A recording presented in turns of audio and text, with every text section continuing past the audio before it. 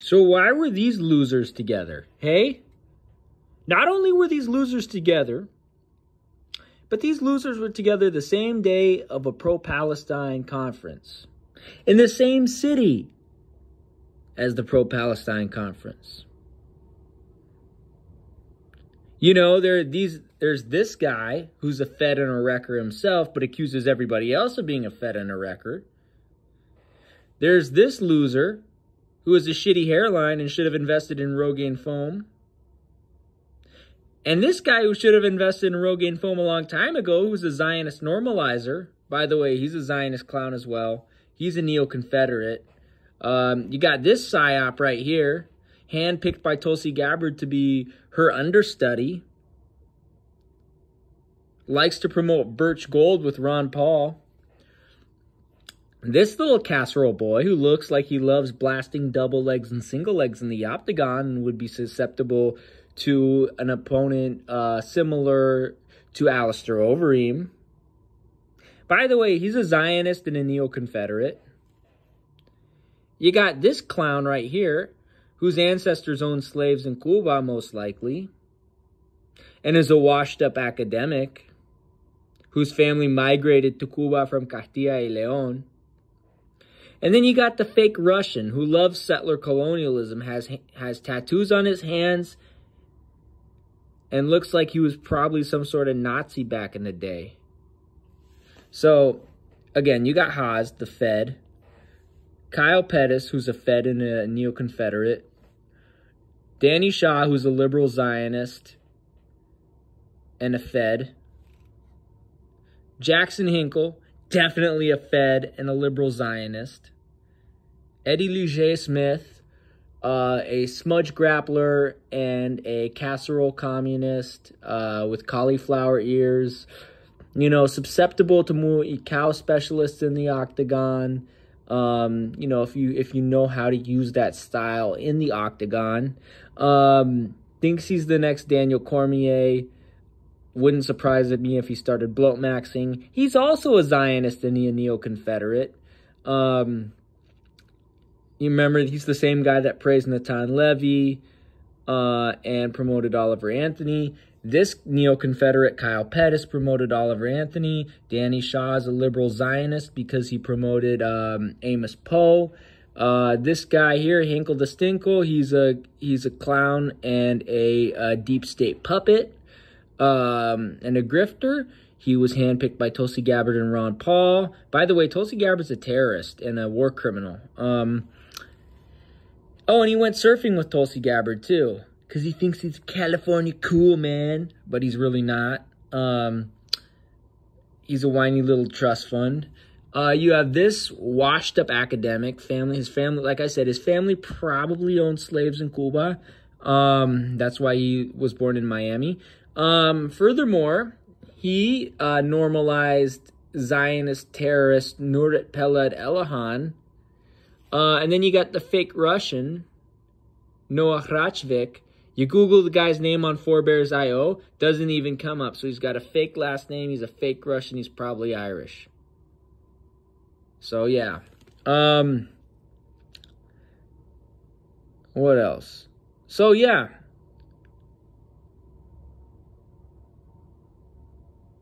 So this is what my buddy, Flame of Liberation, by the way, like and subscribe to Flame of Liberation's channel. And nobody's paying me to say this because I don't earn money off of YouTube. Um, Flame of Liberation says, seems like they put on that conference to try to wreck and split the actual Palestine conference going on the same day and city. Organized by actual Palestinians and anti-imperialist groups. The suspiciousness of all those involved in that Free America conference just went up.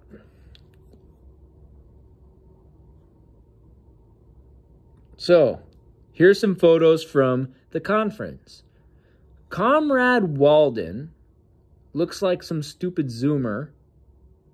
Says, great event, boys, and he tags Haz. This this stupid clown calls himself a warlord? Yeah, right. The guy probably wouldn't even last a second in a real war, let alone in a Muay Thai sparring match.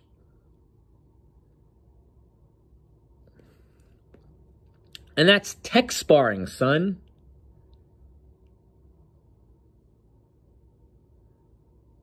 You got this guy, Hinkle the Stinkle, who is a literal puppet of China.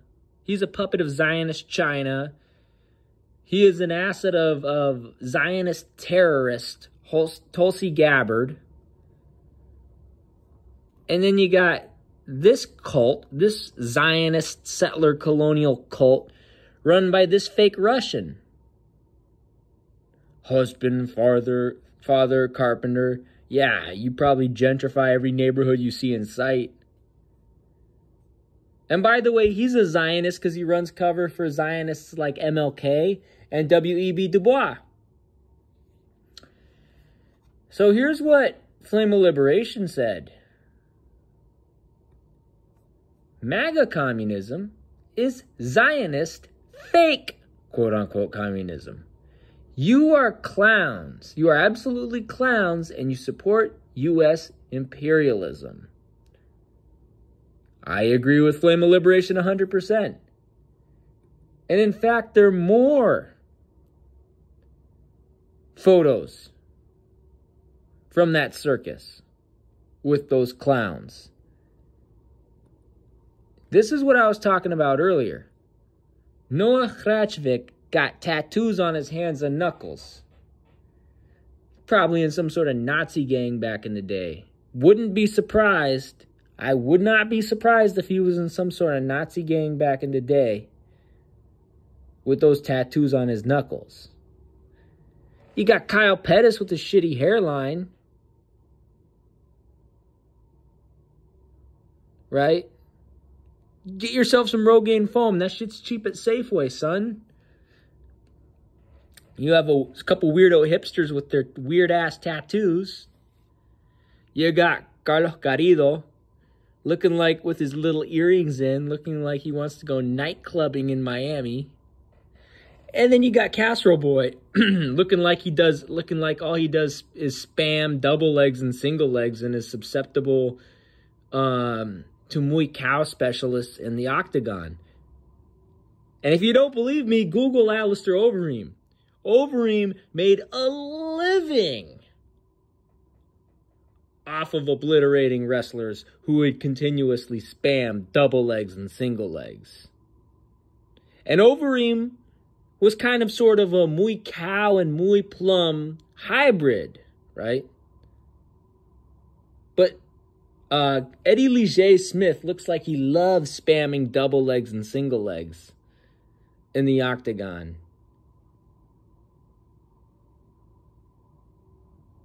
He looks like it, it looks like a Muay Khao specialist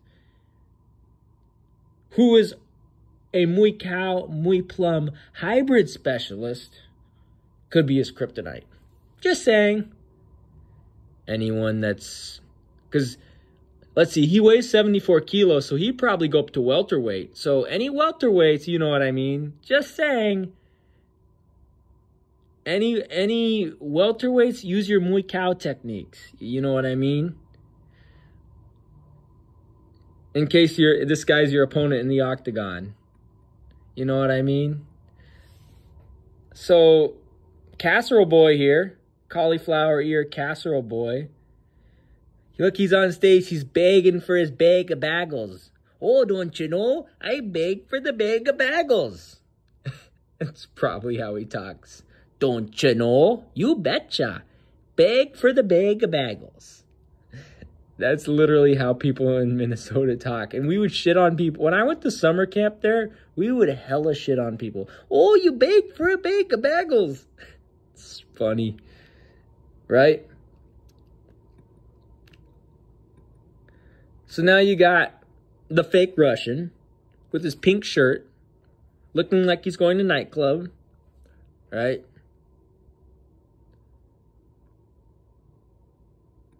I already closed out that picture of his the tattoos on his hands. Um Yeah, you know, the fake Russian looked like he's going to the nightclub. Because when you Google the guy's last name on for on forebears.io, it don't even show up. So he's a fake Russian. Fake Russian. Um the fake Russian trying to do his best impersonation of Khabib because that's all that's the only Russian he knows. Davai, davai, davai. Right? It's literally all he knows. And that's most of the Russian I know, and that's just from watching UFC. Um, this guy's a fake Russian. He's actually Irish, but he claims to be Russian. And that's so weird they have American flags next to Palestinian flags. Like, what are you trying to do? The U.S. is literally enabling genocide in Palestine by funding the Zionist entity. And it's so weird because their favorite, this guy's favorite two countries, America and China, are the two largest trading partners of the Zionist entity. And that's hella suspicious, man. Same with this guy. This guy's favorite two countries, America and China, are the two leading trading partners of the Zionist entity. Also, this guy ran cover for Natan Levy and for liberal Zionist Dan Cohen. Then you got this guy looking like he's going to Miami nightclub with his weirdo little earrings on. And this guy's a Zionist puppet. Um, you know, he normalized Nurit Peled Elahan. You know. But this, just the fact that there's an American flag next to a Palestinian flag disgusts me. It looks like they're trying to co-opt the Palestinian liberation movement. And then you have the little gremlin. You have Haz going yabba dabba doo. And you got cauliflower casserole boy. Look, his smile is so fake. And he's got a weird little mustache. He like it's like he wants to gentrify everything in his sight. And you got the fake Russian. You got the Gusano. The Gusano who looks like he's going to a nightclub in Miami. Or to a nightclub in Paris. And you got Kyle Pettis, who has a shitty hairline and should probably invest in some Rogaine foam. Like, look how shitty his hair... Like, my hairline's not the best. But you should see this guy's hairline, man. Like, this guy needs Rogaine foam. Yeah, this guy, Eddie Liger Smith, he looks like he likes to blast singles and doubles.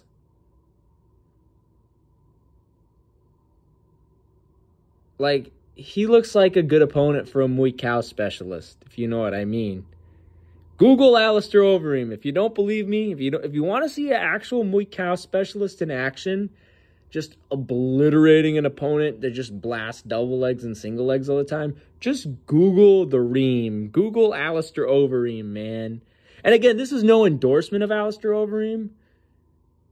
I don't endorse him as a person, but as a, as a martial artist, yeah, the Reem is one of my favorites. Just because of his Muay Khao techniques. Um, yeah, and just because of his style, you know what I mean? But this guy would be a good uh, a good opponent for someone similar to Alistair Overeem. Just saying. Um, and then you have Carlos, El Gusano Cubano, El Gusano Castellano, with his little earrings, looking like he wants to go night clubbing.